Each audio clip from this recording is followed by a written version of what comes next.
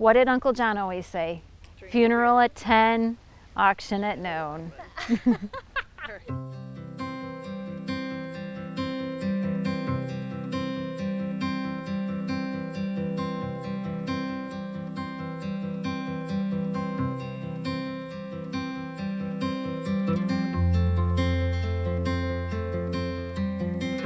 I think it is probably not a coincidence that his name is John, he's gone by John Boy, and his love is John Deere's.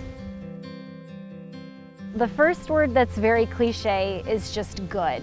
He's just a, he's a good soul, he's a good person, he was humble, and he was just so, so special to everybody. I said when he passed away, I said whatever role John had, he was the best.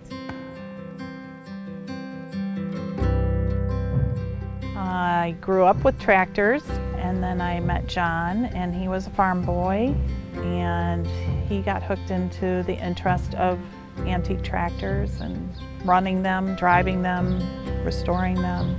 It's an addiction. He just loved it all and I did too.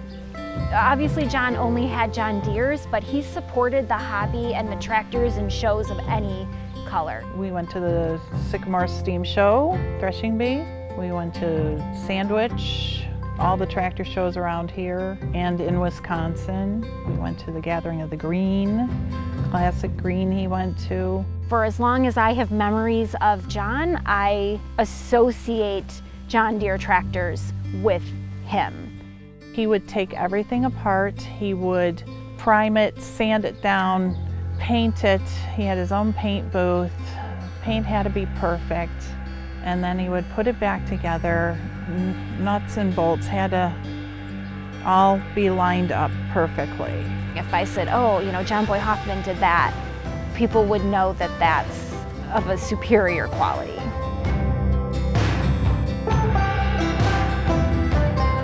This was kind of like almost a crown jewel for him. He wanted to own a Waterloo boy. Motto at our house is life's too short and the opportunity came up and I told them don't come home without it. That tractor is like a member of our family. We celebrated it like the birth of a child. I mean, there was cookies and pizza and friends and camaraderie and everyone just had to see John's new, new baby. I think it was one of many of his kind of pride and joys. We have the John Deere Model 62 and the unique thing about that is that it, there were only 78 built and we have number 62. That was always a fun one to own. It sparked John into wanting the whole L series. The cultivator, it's a Planet Junior. We, John and I had spoke to many people that have never seen one of these implements sell at all. So we believe that this might be a, a bit of a thrill seeker's implement to get. The John Deere R was his favorite. It was just badass. yeah, he loved it. He loved the sound. He loved the pony motor starting up. I know my niece and I took it out one time at the steam show and he didn't know where we were at. And he could hear us hit the throttle and he's like, hmm they're over there. they were such a special part of our family. They brought joy to him to share. They brought joy to us because he was so proud. He absolutely wants someone now to feel the same.